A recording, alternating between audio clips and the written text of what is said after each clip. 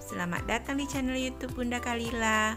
Di video pertama ini, kita mulai dengan masak yang simple aja ya, Mams, yaitu mie goreng.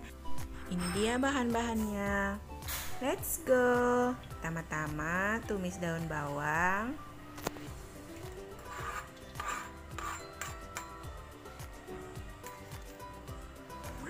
Tambahkan bumbu halus yaitu cabai merah, bawang merah, dan bawang putih. Tambahkan saus tiram,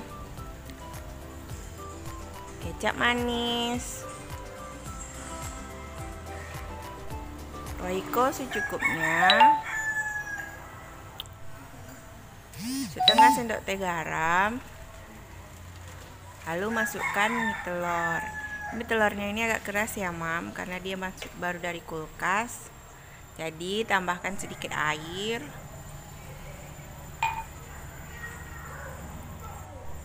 Sayur kol. Boleh juga ditambah sawi Jamur, sosis, atau bakso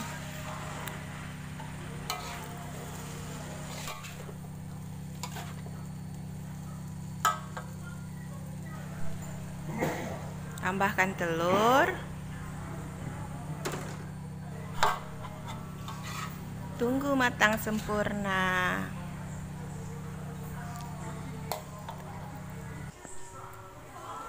Nah telurnya udah masak.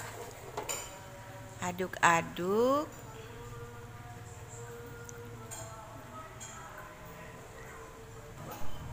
Udah siap Tambahkan timun, kerupuk, dan bawang goreng. Terima kasih sudah menonton.